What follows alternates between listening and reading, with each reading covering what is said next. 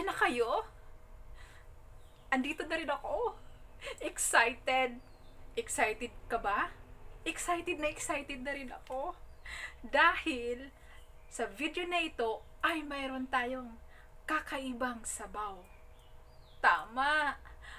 Tama talaga narinig nyo. Kakaibang sabaw ang ating lulutuin ngayon. Ano kaya yung kakaiba no? 'Di ba? Pati kayo napaisip kung ano yung kakaibang sabaw. So, papakita ko sa inyo ang ating main ingredients ngayon ng sabaw. Sabaw na kakaiba. Mm. Sandali lang. Sandali lang. Ipapakita ko na kakaiba nating sabaw. Ang main ingredients natin for today sa ating sabaw na malinamnam. Sabaw na masarap. Eto, mamaya ang ating Kita nyo ba yan? Nakikita nyo ba yan? Hindi kayo nagkakamali. Alam ko ngayon nyo lang to nakikita. Alam ko ngayon nyo lang din yung alam na pwede pala siyang gawing sabaw. Oo, tama. Starfish. Starfish ang ating main ingredients for today sa ating sabaw. So, abangan nyo po yan ha, kung paano siya lulutuin at ano ang gagawin sa ating masarap, malinamnam na sabaw for today. Ang starfish! So guys, see you later. Abangan ang aking sabaw na starfish. So, our main ingredients for our soup for today, ayan po ay starfish.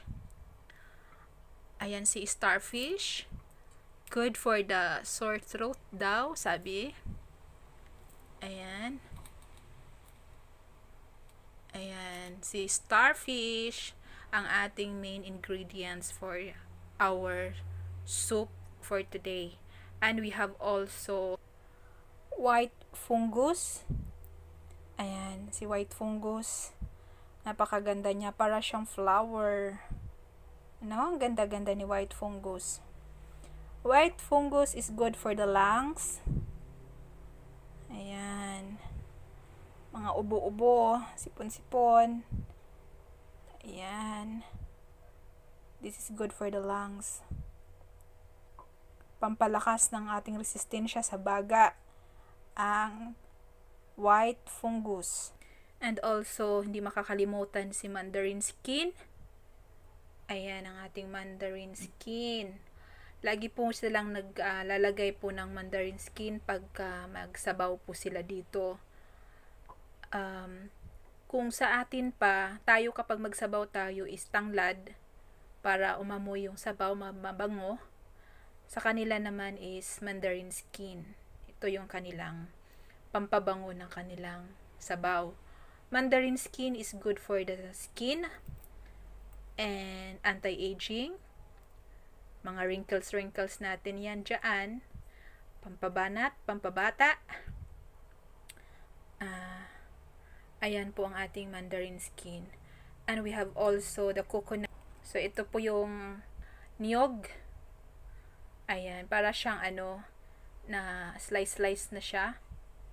Maninipis na pagka-slice na niyog. Ayan, para medyo malapot ata ng konti yung kanilang sabaw. Not sure. Paano ba yan? Kasi first time ko din tong makikita ngayon yung magiging anong magiging ano nila ngayon sa sabaw nila. So, abangan natin later ang sabaw. So, ayan yung coconut Lalagyan din po ng dates. Ito po yung dates na ilalagay po sa sabaw. Ayan, para mas matamis ang lasa ng sabaw, matamis-tamis. Kaya medyo mayroong dates. Ayan, dates kung sa ano, tamar naman kapag sa Arabic. At saka mayroon din silang ilalagay na kahoy-kahoy. Ayan. Mayroon pong kahoy-kahoy. Ayan, yung kahoy-kahoy po. Isasama din po yan sa sabaw later. Yung ating kahoy-kahoy. At saka ito din po. Ayan.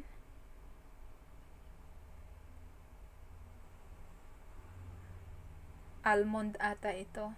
Ay, hindi, hindi, hindi, hindi. Sorry, hindi ako alam.